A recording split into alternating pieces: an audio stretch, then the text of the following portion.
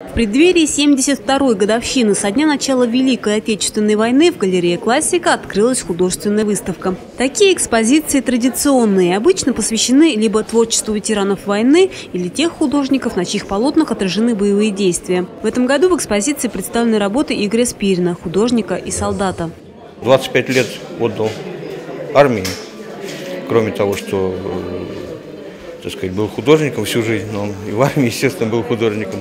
То есть прошел всю Великую Отечественную войну, с 40 -го года он в армии был, прошел всю Великую Отечественную, потом э, был и редактором армейских газет, тоже буквально весь э, союз тогдашний объездил.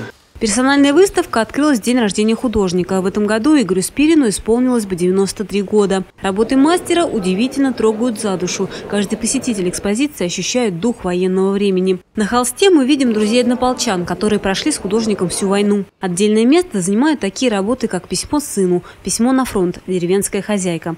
Над этими картинами Игорь Спирин трудился несколько лет. Эскизы, этюды он эм, начинал писать э, в деревне Жилниха, когда был на академической даче под Торжку, на академической даче имени Репина.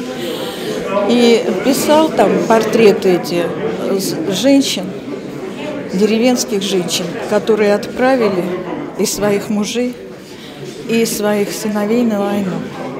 И они не вернулись. На полотнах Игоря Спирина нашли отражение не только военные годы, но и мирное время. Художник нередко рисовал пейзажи – морские, горные, любовался природой средней русской полосы, которая не раз служила источником вдохновения. Любовь Почерникова, Олег Мелехин, РТВ Иванова.